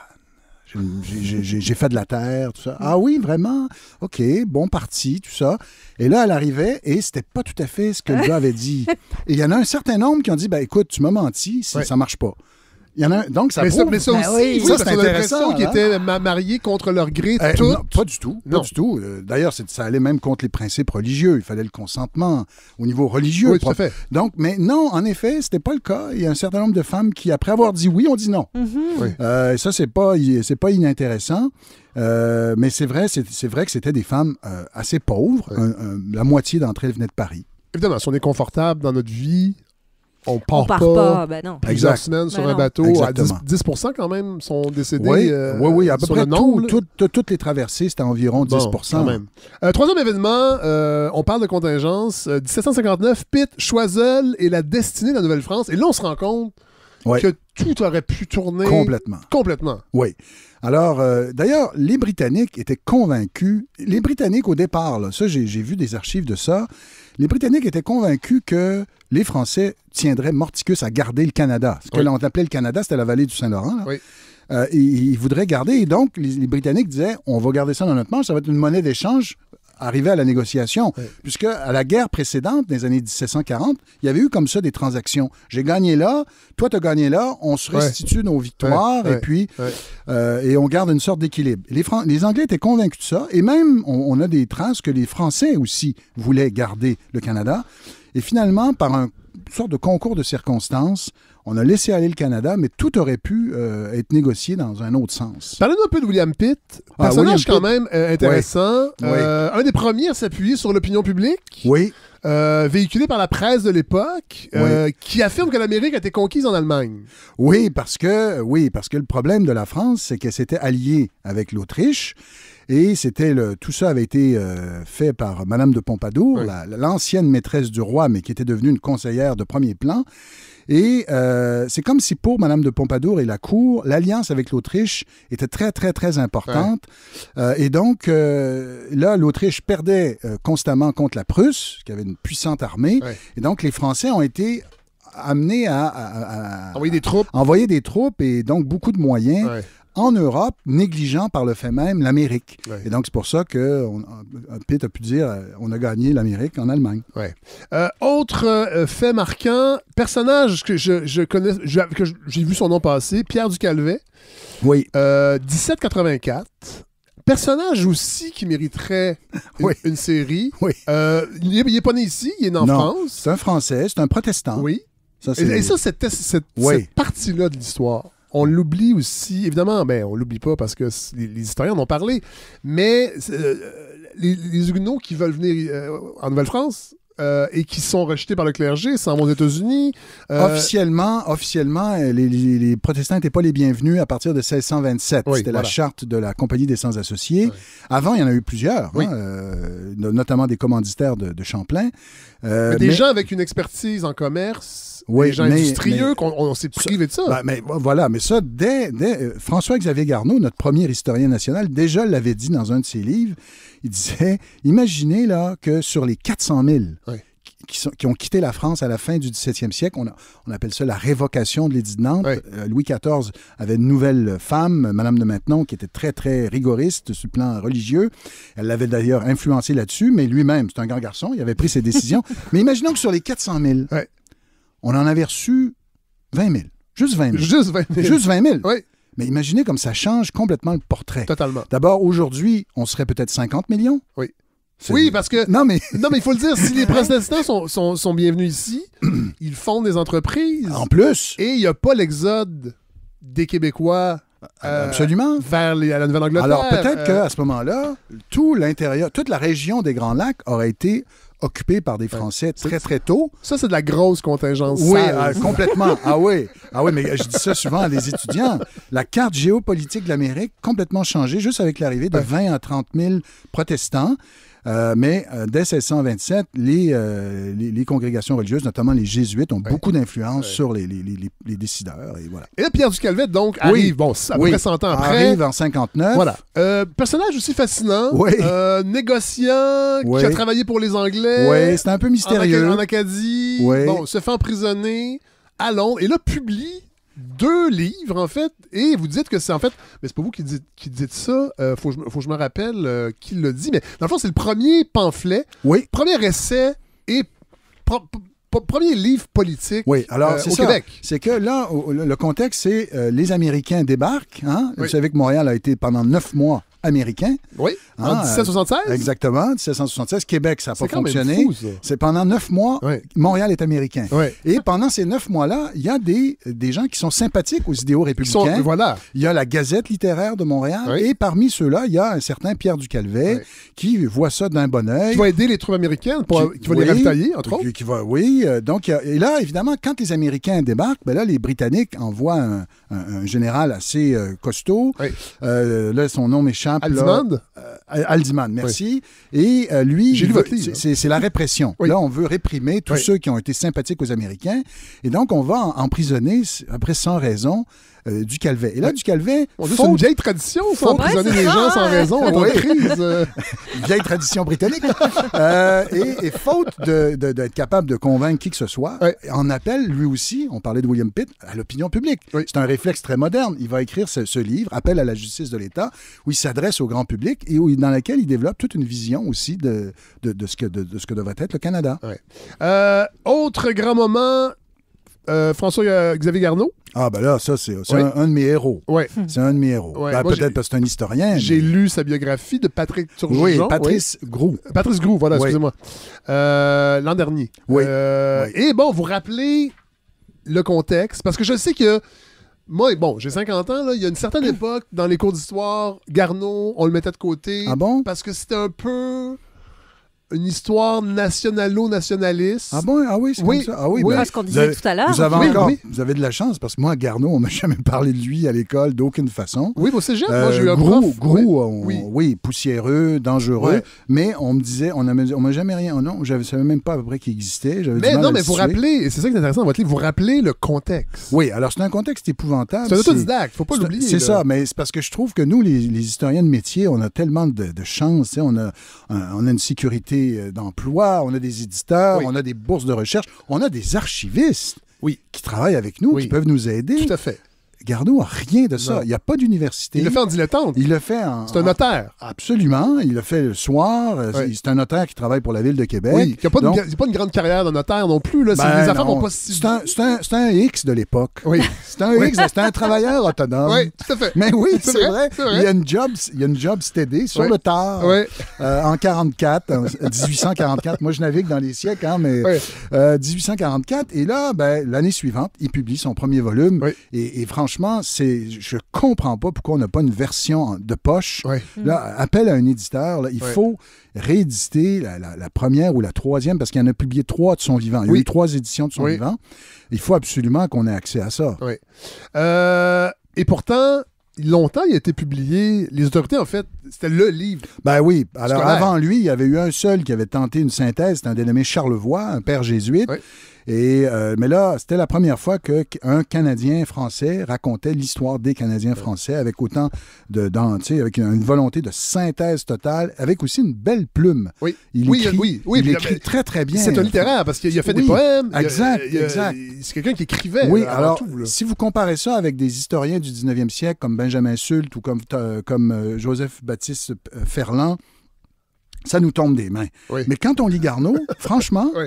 On- non, ça tient la route, c'est beau. Évidemment, c'est daté du point de vue de l'historiographie, Oui. mais c'est vraiment un livre euh, que- qu'il faudrait rééditer. Autre moment important, Honoré Mercier ou les origines de l'autonomisme québécois. Euh, chose euh, qui m'a vraiment intéressé. Bon, euh, Honoré Mercier euh, a été journaliste au Courrier de Saint-Hyacinthe. Je viens de Saint-Hyacinthe, alors Ah. moi, c'est une figure importante. Mais bon, il y, a y a plein de choses que, que- que j'ignorais. Entre autres, cette idée de conférence interprovinciale, Oui. c'est lui, Ben oui, le premier. c'est le premier. Évidemment, je vais, je vais trahir mon âge, mais à une certaine époque, dans la vie politique, c'était très important, les conférences interprovinciales, dans les années 70-80. Dans les bye-bye, il y avait Mhm. des, de longs sketchs sur les conférences interprovinciales. Ben ouais, parce et que- les ministres, au Québec et au fédéral, euh, on, on attendait de voir qui allait être nommé pour ces postes-là, parce que ça allait euh, occuper une bonne partie de l'année. Aujourd'hui, on est moins là-dedans. Oui, Mais- c'est clair.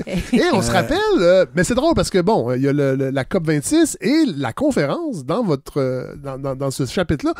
Vous nous rappelez que c'était euh, plusieurs jours, il y avait un Oui. face, il y avait des banquets, Oui. euh, c'était à Québec, euh, Honoré Beaugrand arrive. euh, oui, le- le- le- avec le- son club de racketteurs. Oui, voilà, il y a un film de Gilles Groux, d'ailleurs, Oui. sur le club de vrai, Oui. c'est vrai. Euh, Parlons un peu d'Honoré Honoré Mercier de cette Ben, époque-là. moi, moi c'est un personnage que, j'ai beaucoup, beaucoup d'affection pour Honoré Mercier. Il me fait un peu... Vous savez, c'est un contemporain de, de Edmond Rostand. C'est un peu un Cyrano de Bergerac. Oui. Euh, D'abord, c'est le seul premier ministre dont on, dont on a publié les lettres d'amour à sa jeune Léopoldine, Oui. emportée par une maladie euh, dans la vingtaine, malheureusement. Donc, on a des traces d'un premier ministre qui a écrit des belles lettres d'amour. C'est beau, c'est rare. Ensuite, c'était un homme qui avait beaucoup de panache Oui. et qui avait à la fois une compréhension des grands enjeux au plan euh, politique, euh, et- et comme journaliste, il pouvait, euh, mais aussi une habileté tec- tactique. Ouais. Hein? Donc, euh, parce que C'est là, quand quand même assez rare que Ben, toutes ces qualités oui. soient réunies chez un même homme ou- Exactement. ou une même femme. Exactement, et c'est très rare. Et lui, il faut comprendre que quand il arrive en politique, les, les conservateurs occupent toute la place. Autant à Québec qu'à Ottawa, c'est le parti naturel de gouvernement. Donc, ça, c'est vraiment difficile. Et les libéraux sont accusés d'être des anticléricaux, des rouges, donc des pseudo-révolutionnaires. L'Église se méfie d'eux.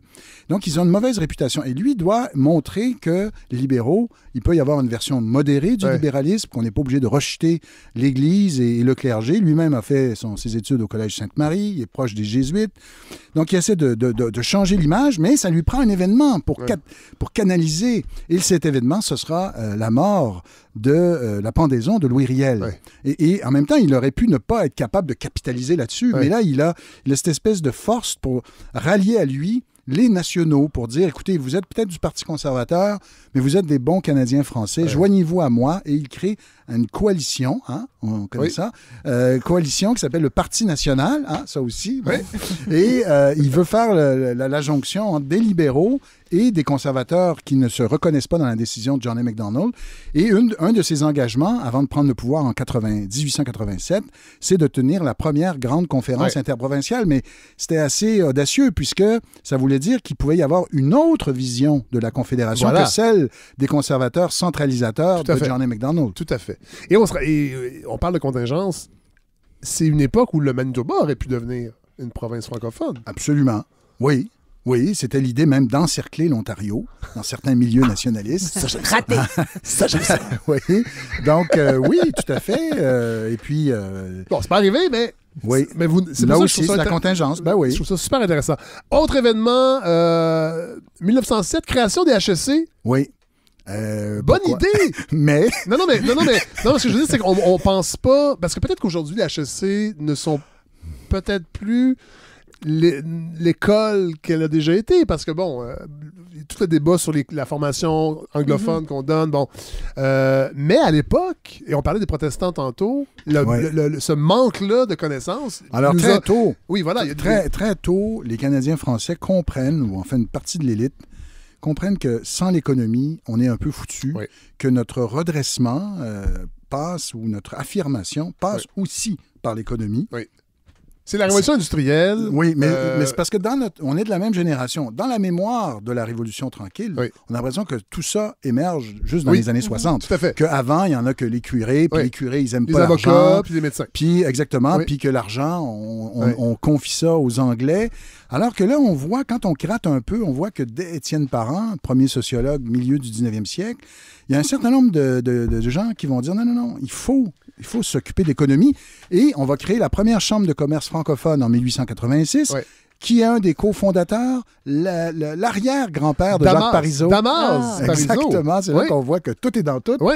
Euh, Mais pourquoi on crée la chambre de commerce, vous le dites dans votre ben, livre? ben, parce que le Montreal Board of Trade, euh. Mais je trouve ça fou parce qu'aujourd'hui, On on, est se là-dedans. parle, on est là-dedans avec cette Absolument. histoire d'Air Canada. Tout à fait. de- C'est c'est complètement fou de réaliser que dès 1907, c'est une préoccupation majeure. Alors, c'est ça. Donc, la, la Chambre de commerce francophone va très tôt dire ben, ça nous prend une école de commerce. Ouais. Et le clergé n'est pas tout à fait chaud. Ben, C'est-à-dire, le clergé et, et- et certains nationalistes Oui. comme euh, Armand Lavergne Oui, craignent euh, une espèce de. Parce que tout ce qui échappe à l'Église est suspect. tout à fait. Euh, Il y a deux, il y a, il y a des gens qui se méfient de, de l'État pour des raisons très différentes. Il y a les gens qui sont dans un libéralisme économique. hein. Oui. Tout ce qui est État, c'est dangereux parce que c'est le marché qui doit La main triompher. invisible du Mais marché. du côté, disons, des traditionnalistes catholiques, on se méfie de l'État parce qu'on a, on- a l'exemple de la France qui prône une séparation de l'Église et de l'État, Oui. qui euh, veut imposer ses petits instituteurs dans les écoles, les hussards noirs de la République, qui, aiment, qui sont très anticléricaux. 1903, la Oui, loi sur la euh, laïcité? 1905, je Oui, crois. voilà. Donc, c'est tout, euh, chaud là, euh, à l'époque. les lois Combes, euh, juste un peu avant. Puis a- D'ailleurs, on reçoit au Québec beaucoup de clergés, de, Ouais. de- de Fran- de Français qui, qui fuient euh, la, la République euh, franc- franc-maçonne. Bon, alors, donc, euh, on se méfie de l'État. C'est pas les plus progressistes, hein? C'est Ah ben, ces religieux-là Ceux, là, qui ceux- arrivent. ceux qu'on reçoit, euh, c'est pas eux qui nous parlent en, en bien de la République. pas vraiment. Euh, ils, nous disent de vraiment nous méfier. Oui, Et oui. d'ailleurs, il y avait un politicien à la fin du 19e siècle, on, on parle de, on parle de, de- de- de l'école, hein, qui était sous la ch- ch- chape de, l'Église. Il disait L'éducation, c'est trop important pour être laissé entre les mains des politiciens.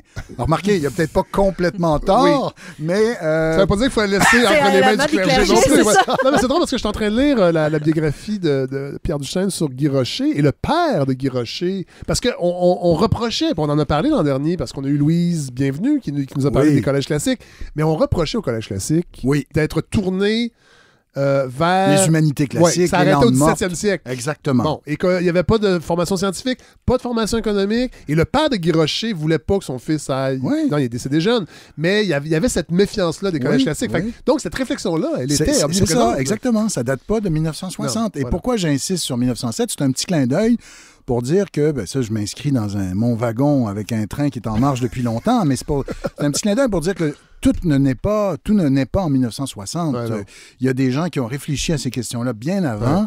Ouais, ouais. Et euh, si on crée la caisse de dépôt et de placement et si on se prend en main économiquement dans les années 60, parce qu'il y a des gens qui, pendant fait. des générations, y ont bien réfléchi. Et dernier événement, la loi 101, Ben oui. 1977. Un incontournable. Voilà, où on apprend entre autres que René Lévesque il trouvait, que ça allait loin, cette loi-là. même. Oui, alors il, il aurait dit, au, ça c'est Jean-Claude Picard qui raconte ça dans sa biographie de Camille Laurent, il aurait dit, euh, bon, prenez-moi la loi 22, la loi des libéraux de Oui. 1974, arrangez-moi ça. Faites- faites le ménage là-dedans. Faites le ménage là-dedans, mais là, il arrive avec une, une charte, euh, je sais pas combien de pages, avec un préambule qui, on- qui annonce presque la libération du Québec. Là, il, il était surpris, il était surpris, et, euh, et il craignait, euh, en effet, qu'on dise de cette loi qu'elle était liberticide, euh, qu'elle était vengeresse ou revancharde. Et, et finalement, on l'a convaincu et euh, il a défendu cette loi. Et ça, il faut pas l'oublier, parce que les adversaires euh, vont toujours, des, des- des- des indépendantistes ou de ceux qui défendent l'identité québécoise, vont toujours Ah, René Lévesque, c'est un grand démocrate. C'est vrai, mais il a quand même défendu la loi 101. Oui, voilà. Ah, il faut, faut pas l'oublier. Bon, ben, voilà, j'en dis pas plus. Je, je Ben, veux que les là, gens. on, en non, dit- on a fait les huit chapitres, mais pas au complet. non, bien sûr. Êtes-vous déçus? Voulez-vous que Pas je fasse du du montage? Éric? Non, pas du tout. Euh, je veux vous entendre. euh, On va terminer avec ça. Sur- on, va, on va terminer sur deux choses. Euh, vous avez dit tantôt que vous faisiez des recherches pour. Donc, vous préparez un, un autre livre. Là. Oui, oui, là, je, je travaille sur un livre là, sur la Nouvelle-France, mais je veux étudier la question de la formation du peuple euh, euh, québécois, canadien, français ou Ouais. canadien, comme on disait à l'époque. Je vais voir comment ça, ça a pris forme. C'est une vieille question qui a été laissée un peu en plan, euh, et puis je voudrais y revenir, voir, faire l'état de la question, à la fois sur les, les- les- les- les- l'alliance fructueuse avec les Autochtones du début, Ouais. mais aussi sur la formation, par exemple, la question de la langue, Ouais. la question de l'ethnonyme. Euh, comment ça se fait qu'on on décide d'un jour d'appeler un certain nombre d'individus des Canadiens et non Ouais. plus des Français? Ouais. Alors, comment tout ça va se passer? Aussi, euh, voilà. Et, et je vais vous entendre euh, sur l'actualité. Bon, euh, on le sait, le, le gouvernement de François Legault veut redonner fierté aux jeunes Québécois. Pas juste aux jeunes, mais en par- en- à partir des- de- de- de- du cours de CA qui a été transformé. Com- comment comment l'historien voit ça euh, Bon. aujourd'hui? Ben, j'ai jamais été un grand euh, partisan de ECR. Ouais. J'ai jamais beaucoup aimé ce cours-là. Euh, je trouvais qu'on était dans le prêchi-prêcha multiculturaliste, Ouais. enfin, en ce qui me concerne.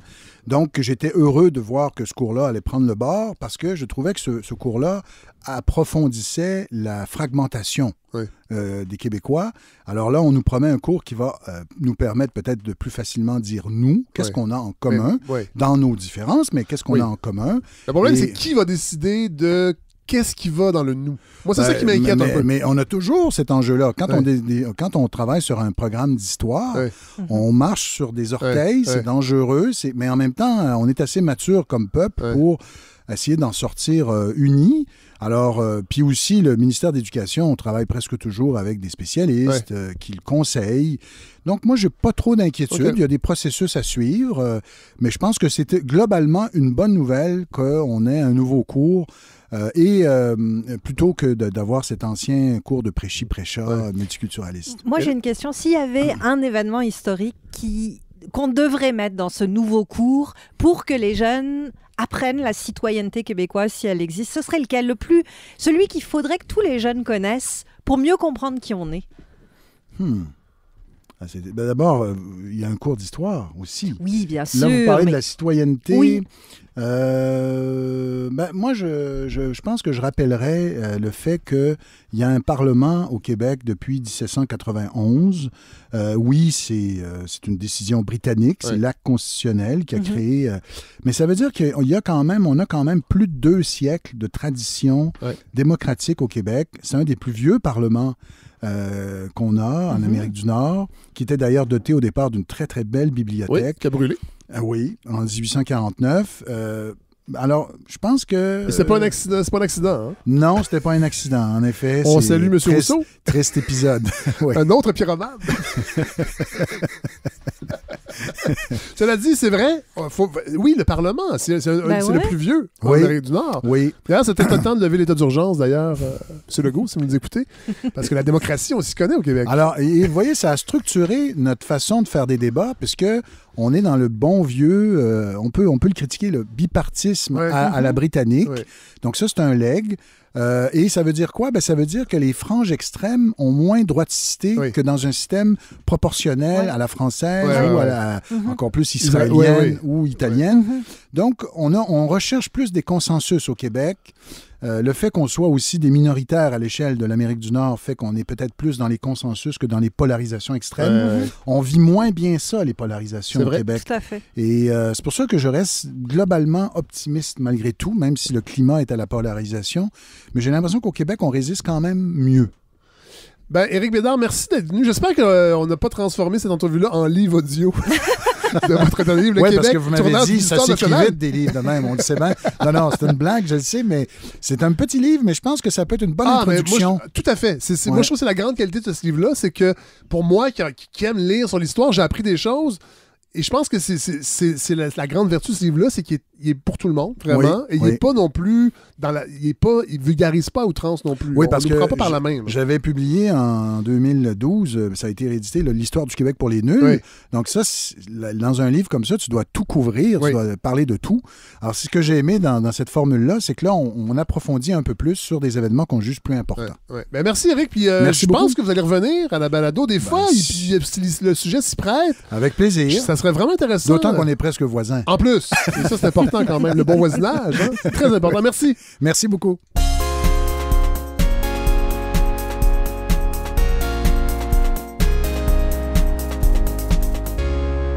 Bon, avant d'aller euh, rejoindre Philippe Couture pour parler de la Pologne, petit mot sur la campagne de financement. Ouais, je vous ai pas beaucoup, euh, je vous ai pas beaucoup harcelé avec cette, avec cette campagne-là, mais là, je vais le faire un peu parce qu'il y a un petit ralentissement. Je dois l'avouer, on est autour de 47-48 là. J'ai, euh, pas comptabilisé les chiffres de ce matin. Il y a quelques dons qui sont rentrés, mais J'aurais aimé dépasser au moins le 50% cette semaine. Euh, on sait l'objectif, je l'ai déjà dit, 80 000 Objectif ambitieux.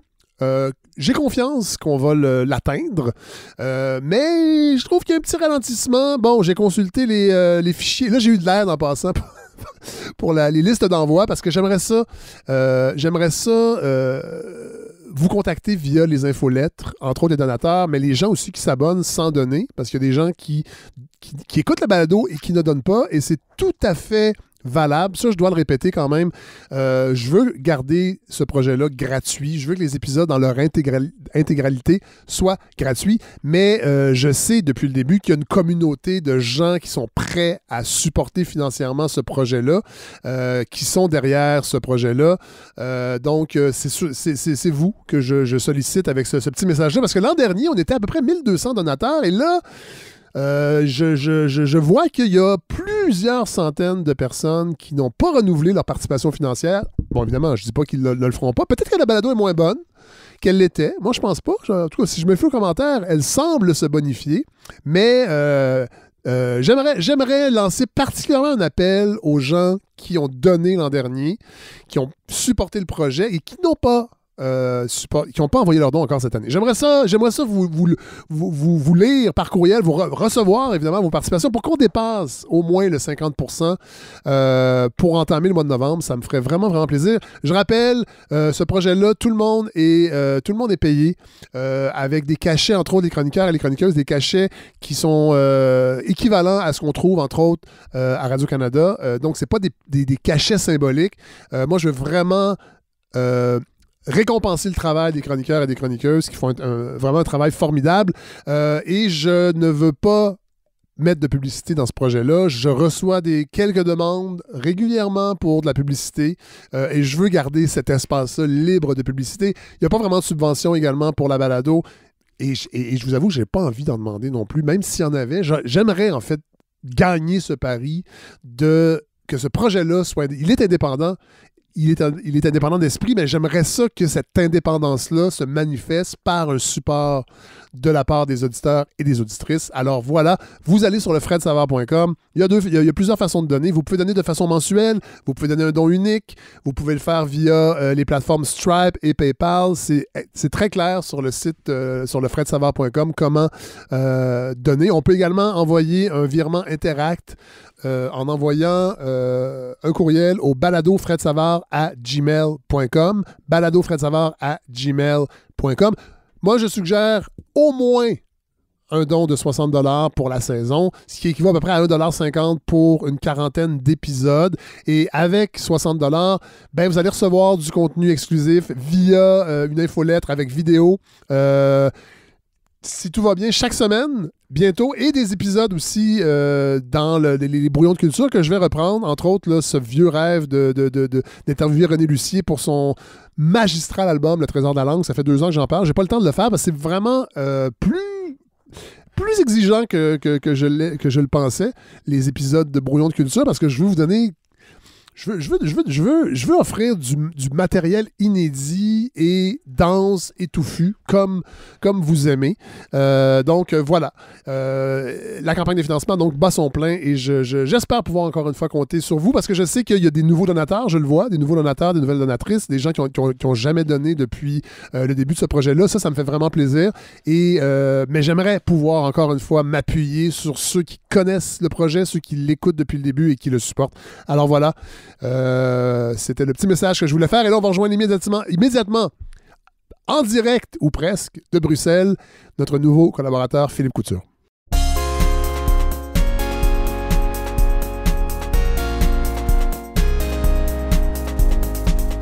Bon, je vous en avais parlé euh, il y a deux semaines. On a eu des petits problèmes de disponibilité, mais là, ça y est, nous retrouvons un nouveau collaborateur à la balado. Philippe Couture, bonjour.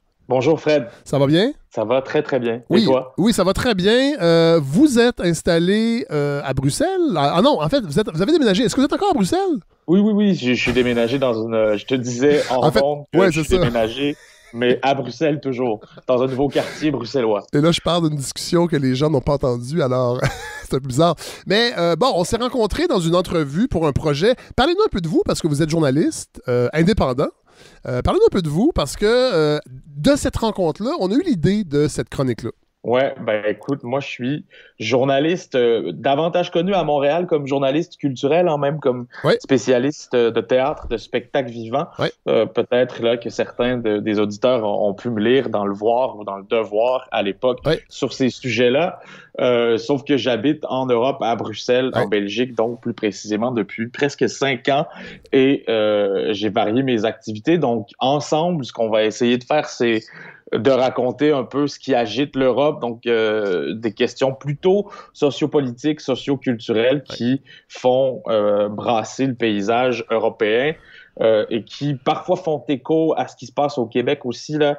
Évidemment, quand on parlera de la France et de la Belgique, ben, euh, ça va être un réflexe naturel de, de se comparer. Euh, le Québec a, a souvent les yeux ouverts sur la France, avec raison. Nos sociétés, bien que différentes, euh, se ressemblent Oui. aussi. En tout cas, euh, les mêmes questions, ils sont souvent euh, débattus de façon un peu différente. Donc, je pense que ça, ça va être l'un des plaisirs euh, de cette chronique-là, c'est de voir euh, avec quel regard intellectuel les Français parlent des mêmes questions que nous, de laïcité, de pluralisme, de, du mot en haine ou de, de culture de- du bannissement. En fait, tous ces sujets-là, euh, vraiment, en ce moment, sont débattus avec autant d'ardeur au Québec comme en France, comme en Belgique, comme dans le reste de l'Europe, mais souvent d'une façon différente, avec un, un vocabulaire différent, avec un regard euh, qui, qui ne prend pas les mêmes chemins. Donc, euh, je pense qu'on s'amusera à, à décortiquer tout ça. Euh, ensemble et puis euh, à parler aussi de pays européens moins connus. Ça va être le cas de la Pologne aujourd'hui, par exemple, Voilà. des pays dont on parle moins souvent, mais qui, euh, mais où se passent des choses et où euh, où il y a un éclairage possible sur notre monde. Donc, euh, Mais Philippe Couture, c'est ça, c'est ça qui faire. C'est ça qui m'intéressait aussi de votre. Parce que vous savez, à la balado, on a des antennes euh, au Chili, euh, on était à la Colombie la, la saison dernière, on en a au Québec aussi. Et quand on s'est parlé, ben moi, je trouvais intéressant d'avoir une antenne européenne, mais aussi pour sortir un peu de l'axe euh, France, Belgique, moins parce que je trouve pas que la Belgique est très, très, très présente dans l'actualité québécoise, mais la France, bon, euh, c'est peut-être à cause de, Mathieu Bock-Côté, mais on entend beaucoup parler de la France. On va le faire, mais je trouve intéressant, puis vous me l'avez proposé, vous allez vous promener aussi, vous, allez vous promener dans, dans, l'Europe. Euh, oui. Bon, parce que c'est, parce que c'est aussi ben cette idée-là d'être installé en Belgique, c'est parce que vous aimez vous promener, et moi, ça, ça m'intéressait vraiment qu'on, parle d'autres pays, entre autres, vous l'avez bien dit, la Pologne, qui n'est pas un pays qui occupe beaucoup d'espace euh, dans les médias québécois. Euh, et je trouvais, moi en tout cas, ça, piquait ma curiosité, ne serait-ce que par un peu cette euh, tradition catholique, parce que des... Évidemment, c'est plus très présent ici, mais ça reste dans dans le fond de, je pourrais dire, dans le fond de l'ère sociale, forcément, on, s'en est extirpé avec la Révolution tranquille, mais il y, a des réflexes qui restent. Et je trouvais qu'avec la Pologne, en fait, je me demandais, est-ce qu'il y a des, parallèles à faire à ce niveau-là, dans certaines façons de vivre certains faits sociaux ou certains faits culturels? Euh, et c'est pour ça que j'avais envie que vous nous en parliez. Oui, alors, euh, en tout cas, c'est la question du retour du conservatisme en Pologne là, qui euh, est au cœur de mon sujet d'aujourd'hui parce qu'il y a un bras de fer entre la Pologne et l'Union européenne en ce moment, une, euh, une, tension très forte parce que la Pologne euh, a des valeurs que l'Europe juge antidémocratiques et qui sont dues à l'élection en 2019 d'un parti ultra conservateur. Euh, qui est pas religieux là euh, a priori je veux dire c'est pas euh, un parti où le catholicisme est, est ce qui détermine les politiques. Non, non, non. Je me suis peut-être mal, exprimé dans ce que je voulais dire, mais reste que, bon, je pense qu'il y a certains réflexes, en tout cas, j'ai envie de fouiller ça. Est-ce a certains réflexes qui proviennent de cette culture-là, qui est moins présente, mais qui fait partie de la trame culturelle de la Pologne? Oui, certainement. Et des valeurs euh, judéo-chrétiennes avec euh, euh, qu'on partage avec ce pays-là, certainement, comme avec de nombreux pays européens. Donc voilà, là, ce qui se passe, c'est que c'est une question de droit, là, a priori, qui cause la crise actuelle, une crise qui nous mène, qui mène l'Europe à envisager peut-être un polexit, donc oh! après le Brexit qui a forcé, euh, ben, qui a fait en sorte que la Grande-Bretagne ait disparu de l'Union européenne, il y aurait peut-être euh, euh, sur un chemin à venir, là, dans un futur pas si lointain, un polexit. parce que la Pologne remet en question la primauté du droit européen. en ce moment, elle veut donc que son système judiciaire national retrouve sa préséance. Euh, mais en quoi, euh, Philippe, il, est si différent des valeurs européennes? Ben, alors, la Pologne, euh, a, vu qu'elle a un gouvernement ultra-conservateur, voudrait donc retrouver le droit de gérer son système judiciaire sans que l'Union européenne interfère, en fait, sans que le, droit européen, lui, ait, préséance ou ait primauté. et ce que l'Union européenne craint, c'est que ça, ça mène la Pologne à euh, ensuite faire des lois qui seraient anti-européennes et antidémocratiques, c'est-à-dire des lois euh, qui vont à l'encontre des droits des minorités, ah des femmes, euh, des lois qui renient le droit à l'avortement, par exemple. Au fond, c'est ça qui inquiète l'Union européenne parce qu'il y a dans les valeurs de ce parti ultra-conservateur cette cette volonté, disons, de, de bafouer les droits des minorités. Donc, c'est de ça qu'on parle quand on parle de valeurs antidémocratiques en euh, Pologne. Mais c'est sûr que le, le, gouvernement conservateur polonais ne dit pas pour l'instant, n'a pas entamé de procédure pour faire des lois qui bafouent les droits des minorités. Elle passe par une sorte de stratagème euh, dans le droit euh, en faisant en sorte de changer, par exemple, les règles de nomination des juges, euh, de, de, de, créer un nouveau système aussi euh, à l'intérieur de son processus judiciaire qui, selon l'Union européenne, menace l'indépendance des juges. Euh, et euh, ça, ben, c'est un principe qui irait à l'encontre de ce que prône l'Union européenne. Et en affirmant la souveraineté de son système de droit, la Pologne va aussi à l'encontre d'un principe fondateur de l'Union qui est que euh, le droit supranational européen euh, a primauté et chaque État membre de l'Union reconnaît que ce droit-là a primauté sur les lois euh, de l'État-nation. Donc c'est pour ça qu'on évoque un polexit. Si la Pologne n'est plus prête à reconnaître la primauté du droit européen, elle doit sortir. Bon, mais c'est ça qui est nouveau, parce que le Brexit, ça venait de la Grande-Bretagne, ça venait... Euh, alors que là, c'est l'Europe, en fait, qui, en fait, qui expulserait. En fait, c'est cette idée-là qui fait son chemin. C'est que l'Europe pourrait expulser, puis on parle de la Pologne, on, pourrait parler de la Hongrie aussi, qui euh, se, a, des politiques qui se durcissent face aux valeurs européennes. Donc, c'est ça qui est nouveau, en fait. C'est que ça vient d'Europe. Absolument. Oui, et c'est la première fois, c'est absolument inédit dans l'histoire de l'Union européenne que euh, cette primauté du droit européen soit remise en question par l'un des pays. C'est la première fois donc que l'Union est forcée de dire à un pays membre attention, vous ne pouvez pas faire ça. Si vous le faites, euh, on va être obligé d'envisager euh, de vous éjecter en quelque sorte. Donc c'est vrai que c'est assez nouveau, que c'est inédit, euh, sauf que c'est pas si simple que ça en même temps parce que il y, a, des ambiguïtés hein, dans le traité de l'Union européenne. qui a primauté sur qui, dans quelle mesure les institutions supranationales européennes peuvent vraiment supplanter les États-nations. Euh, c'est ça le nerf de la guerre. Et puis, euh, les débats avec la Pologne mettent en lumière des ambiguïtés. Dans l'article 1 de l'Union européenne, ce qu'on lit, c'est que il doit y avoir une union étroite, une cohésion entre chacun des pays de l'Union. Euh, mais dans l'article 4, là, disent les observateurs de, de, cette crise-là, euh, on prône le respect de l'égalité des États membres, le respect de leur identité nationale, le respect de leur structure fondamentale, politique et constitutionnelle. Donc, comment interpréter cet article 4? Est-ce que euh, vraiment la primauté du droit européen est absolue quand on, dit dans l'article 4 que les structures politiques et constitutionnelles de chacun des pays, chacun des États-nations doivent être respectées. Donc, c'est ça, ouvre la porte à, de grandes questions constitutionnelles ou même philosophiques sur euh, c'est quoi le rôle de l'Union européenne, quel est son pouvoir, jusqu'où peut-elle aller pour imposer ces valeurs, donc valeurs qu'on disait de respect des droits des minorités, euh, de la liberté, de la démocratie et tout ça. Euh, c'est drôle parce que ah. au début de l'épisode, avec l'historien Eric Bédard, on parlait de ça, du.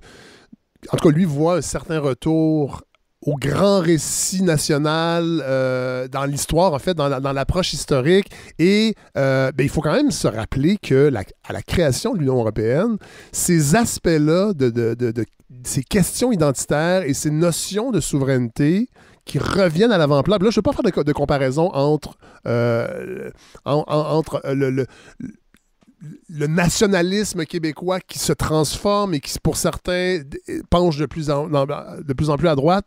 Euh, mais reste que cette idée de se raconter, c'était peut-être moins à l'avant-plan quand l'Union européenne euh, a été créée. Dans le fond, c'était beaucoup euh, des, les questions économiques, de libre marché, de monnaie commune, de libre circulation des biens et des personnes qui animaient la création de l'Union européenne. Tout ce qui était identitaire et euh, les, grands récits nationaux, on pensait que c'était un petit peu mis de côté. Et là, ben, on, a l'impression peut-être que ce retour-là ben, rentre en contradiction avec l'esprit de l'Union européenne à, oui, sa création. Oui, je pense que cette, cette crise avec la Pologne montre que l'Europe a changé, en effet, que l'Europe de l'époque de sa création euh, était davantage préoccupée par les questions de monnaie commune, par exemple, ou de, de libre circulation. on, on, sait, bon, que c'est l'absence de frontières dans, dans ce territoire-là qui était l'un des principaux, ben euh, l'un des principaux moteurs aussi de la création de l'Union européenne. Et aujourd'hui, ben, ce n'est plus tellement ça qui semble préoccuper les États-nations, les pays de l'Europe, les questions identitaires reviennent en force, euh, les, les, questions de souveraineté nationale, parce que euh, motivées par une montée de la droite ou de, certains groupuscules de droite parfois. Et donc, on, pourrait dire, pour résumer, qu'on est passé d'une Europe économiquement unie à une Europe identitaire désunie, si vous me permettez cette formule. Euh, et donc, ouais, il y a une sorte de bouleversement en cours. Là, et là, mais là euh, concrètement, concrètement, concrètement, Philippe Couture, est-ce que, est que le Polexit est vraiment probable? Parce qu'au début, bon, ben voilà. Euh, c'est une question qui est constitutionnellement intéressante à débattre, mais en vérité, les observateurs disent la Pologne ne veut pas d'un Polexit. Les Polonais n'en veulent pas. Depuis 30 ans, tous les sondages, et puis les sondages récents aussi, montrent que 80 à 90 des Polonais sont en faveur de rester dans l'Union européenne, sont attachés à l'Europe, même s'ils ont élu ce gouvernement ultra-conservateur. C'est ça, qui est étrange. Euh, en 2019, hein, euh, donc c'était il y a deux ans, euh, trois ans maintenant, ça ne veut pas dire que ce gouvernement est appuyé par une majorité de la population, ou en tout cas que ses volontés de souveraineté sont appuyées par euh, la majorité des Polonais. En tout cas, les sondages montrent euh, euh, que non. Et même les dirigeants eux-mêmes veulent pas de Polexit. Hein. Ils disent que l'avenir de la Pologne est dans l'Union européenne. Donc, dans ce contexte-là, le Polexit est un peu une chimère, c'est-à-dire que ça n'arrivera pas, ce n'est pas probable mais en tout cas, ça permet de remettre en question certaines prérogatives de l'Europe sur euh, ses États membres et, ça, ça fait brasser beaucoup de questions, ça fait beaucoup de débats. Euh, en Hongrie, par ailleurs, il y a une situation en tout point similaire. L'euroscepticisme, il est grandissant. Puis l'Europe n'aime pas vraiment ce qui se passe en Hongrie. Hein, aussi. Victor Orban n'est euh, pas, pas, ce qu'on pourrait dire un dirigeant très sympathique. Non, voilà, il a adopté une loi que l'Europe a jugée discriminante envers les personnes LGBT. Ça s'est passé ça euh, tout récemment. L'extrême droite y est en pleine montée avec des comportements antidémocratiques qui viennent avec. Euh, il se passe à peu près la même chose en Bulgarie. Et puis, dans une moindre mesure, évidemment, on peut parler de la France. Hein, où, euh, dans l'élection présidentielle actuelle, ces questions-là agitent vraiment les esprits, bon, par la potentielle candidature d'Éric Zemmour, qui lui aussi euh, a toujours dit qu'il voulait rendre au droit français sa primauté sur le droit européen. Euh, il fait fausse route selon de nombreux observateurs là, qui, qui pensent qu'il ne comprend pas euh, la Constitution française, qui est quand même protégée, c'est-à-dire qu'elle a été modifiée pour s'adapter à l'Union européenne. De toute façon, elle n'est pas mise en péril. Enfin, en fait, c'est un, peu, un, peu, un peu de la démagogie de jouer là-dessus, parce que comme vous le dites, la Constitution française, moi, je, évidemment, je ne suis pas expert du sujet, mais il y, a, des mécanismes qui prévoient sa primauté, mais, mais, mais de jouer là-dessus, c'est carrément démagogique. Oui, euh, c'est un peu du mensonge, hein, parce que voilà, euh, l'Union européenne, en fait, la Constitution, elle est rédigée de toute façon en accord avec les principes de l'Union européenne. Elle est déjà euh, en pleine cohésion avec euh, les valeurs de l'Europe. En tout cas, en, France, c'est comme ça. Euh, donc, euh, il y a effectivement là une sorte de, de manipulation des faits par notre ami Éric Zemmour. et puis, voilà, ça se passe comme ça en France. Puis, il y a des échos en Allemagne aussi. Je suis vraiment moins spécialiste de la question allemande, mais la Cour constitutionnelle allemande a, elle aussi, un peu remis en cause la primauté du droit européen en 2020 sur euh, une question là, euh, de décision euh, sur la constitutionnalité de la Banque centrale européenne. Je peux pas vraiment vous en dire plus, mais disons que puisque la Cour allemande a réussi à remettre en question la primauté du droit européen, pourquoi est-ce que la Pologne ne pourrait pas le faire? Voilà ce que se dit sans doute le premier ministre polonais. et on termine euh, rapidement avec ça. Philippe Couture, euh, bon, ce qui se passe en Bulgarie, ce qui se passe en Pologne, est-ce que ça peut avoir un impact sur euh, l'adhésion de la Turquie à l'Union européenne, qui est toujours un sujet de tension? Eh bien, en tout cas, c'est sûr que la question de la Turquie s'inscrit dans l'arrière-plan de toutes ces tensions, parce qu'on sait que depuis 89, la Turquie veut adhérer à l'Union européenne, qu'elle y a été partiellement admise, mais pas pleinement, et que euh, ça continue de, de faire débat. Euh, donc, euh, c'est certain là, que la Turquie probablement voudra, elle aussi, faire partie de cette conversation, à tout le moins. Ben, Philippe Couture, merci énormément. La glace est brisée. Je suis vraiment heureux de vous compter parmi notre équipe de, de collaborateurs, collaboratrices. on parlait peu d'Europe.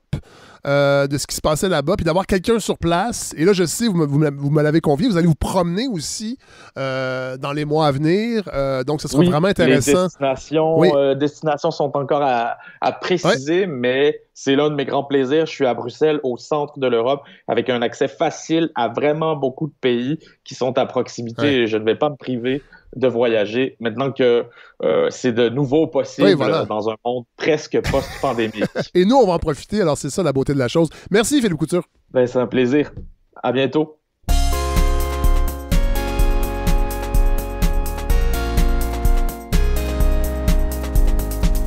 Alors voilà ce qui conclut ce sixième épisode de la saison 4 de la balado. Merci à Larry Dufresne qui, encore une fois, me donne tellement un coup de main euh, extraordinaire pour ce projet-là, qui co-réalise et qui fait le montage final de la balado. Merci à Andréane Obansawin qui s'occupe euh, des réseaux sociaux. Merci à Eric Bédard, à Philippe Couture, à Hélène Faradji qu'on a entendu aujourd'hui. La semaine prochaine, Alain Farah vient nous parler de son dernier roman qui dont tout le monde parle. Euh, une bonne grosse brique de 500 quelques pages que j'ai dévoré. Euh, très hâte de le, recevoir. Euh, c'est une bonne tête, comme on dit. vraiment, son, roman m'a vraiment, vraiment habité. Il m'habite encore. Et il y a Godfrey Lorando également qui sera de retour pour sa chronique, sa nouvelle chronique, revue de l'actualité dans les yeux et la tête de God. Alors voilà, c'est ce qui vous attend la semaine prochaine. Faites attention à vous, allez voter, passez une bonne semaine et surtout supportez la balado. Salut!